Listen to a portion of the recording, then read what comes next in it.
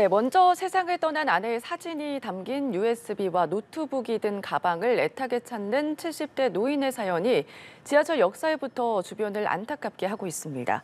누리꾼에 의해 공개된 사연에 따르면 A씨는 지난 8일 오후 7시 30분쯤 인천 계양역 도로 옆에 노트북이 든 가방을 두고 집으로 돌아와 가방을 잃어버렸습니다.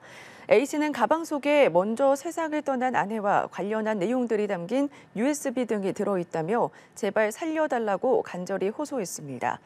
A씨는 계양역 일대 10곳에 직접 프린트한 글을 붙였지만 가방을 잃어버린 지 2주가 다 되도록 찾지 못하고 있는 것으로 전해졌습니다.